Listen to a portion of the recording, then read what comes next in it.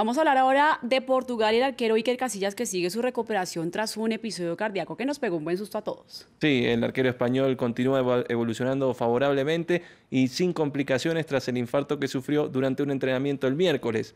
Según informó su representante, el portero estará tres días en el hospital de no mediar ningún inconveniente.